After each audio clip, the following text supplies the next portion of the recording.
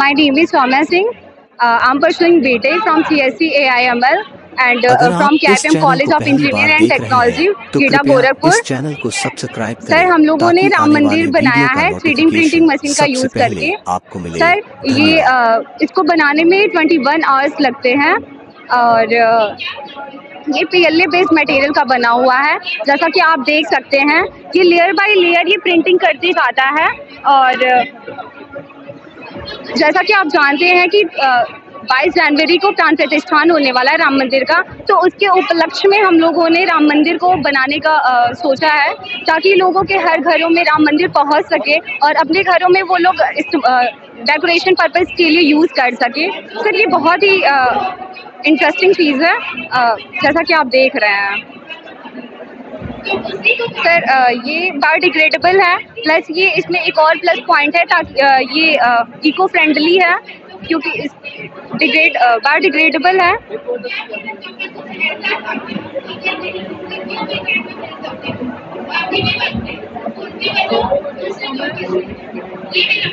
Sir ये अ, ये robo हम लोगों ने बनाया है छोटे बच्चों को अवेयर करने के लिए। इसके डिफरेंट डिफरेंट पार्ट्स सर, इस रोबोट को हम लोग इसलिए बनाया गया जैसे छोटे बच्चे बहुत जिज्ञासु होते हैं, उनके अंदर जिज्ञासा बहुत ज़्यादा होती है।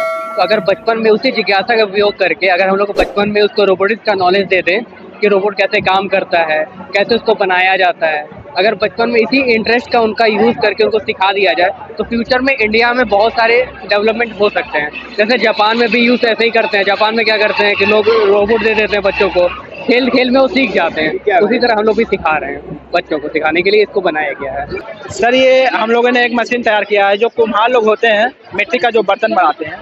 तो उन्हीं के लिए ये मशीन हम लोगों ने बनाया गया है जिनके जिसके कारण उनका जो कार्य है वो आसान हो सके।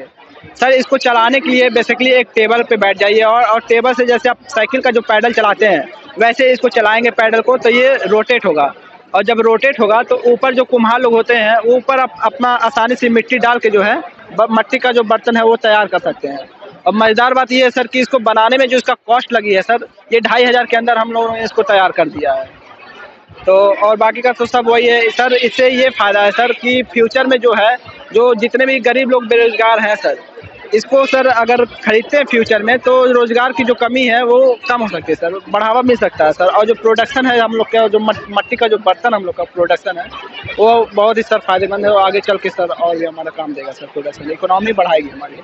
गुड इवनिंग सर सर यहाँ पे सोलर ऑपरेटेड मशीन है। जैसे कि हम लोग जो भी घास काटने का काम करते हैं, हमेशा आउटडोर में ही होता है। वहाँ सोलर एनर्जी होता है, लेकिन तब भी हम लोग इलेक्ट्रिकल एनर्जी का यूज़ करते हैं। तो उस इलेक्ट्रिकल एनर्जी को हम बचा सकते हैं। बाई सोलर एनर्जी से। हमारे पास यहाँ पे सोलर पैनल लगा हुआ है, जो सोलर एनर्जी को मैकेनिकल एनर्जी में चेंज कर देता है, जिससे हमारा जो घास काटने का काम है वो हो पाता है। अगर इन द केस, अगर धूप नहीं है, उस केस में हम बैटरी का भी यूज़ किए हुए हैं, जो वर्कर के दिखा दो। जो बैटरी से भी काम कर देता है, अगर धूप नहीं हुआ उस केस में। और इसके लिए हम लोग, जो मटेरियल यूज़ किया गया है, वो पाइप का यूज़ किया गया है। अगर हम लोग लोहा यूज़ करते हैं तो वज़न में ज़्यादा हो जाता है। लेकिन ये पाइप यूज़ करने की वजह से इसका वज़न काफ़ी कम हो गया है। और ये तीन तीन से चार कंपोनेंट से बना है, और इसका कॉस्ट भी बहुत कम आया है हम लोग को। और टोटल ये वर्किंग मॉडल है।